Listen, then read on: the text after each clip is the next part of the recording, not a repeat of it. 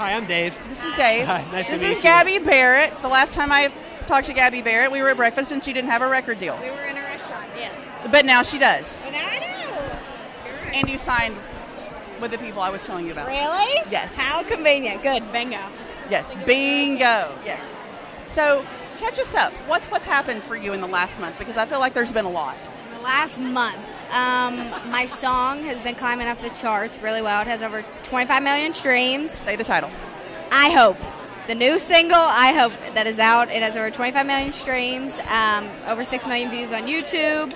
Um, it's being played on CMT, so it's been doing really well. Number one on Sirius XM, number one on Radio Disney Country. I'm on a radio tour right now trying to get it out, so hopefully it goes well. What's it about? It is about when a female goes through a bad breakup with a guy and the guy does us wrong.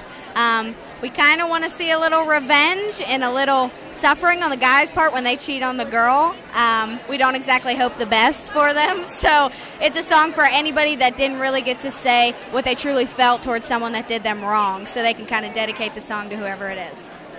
But you're not in that space right now, though. Personally, are you? I am not. I'm engaged. And I found myself a good one. And I'm glad he's not like that. And he's right back here. Oh, okay. Should he come say hi? Bring him in. Bring him in. Bring him in. engaged to this handsome fella right here. And pretty soon, right? When are you getting married? We don't have a date yet. Not too long, not too short. But yes. Very good. No.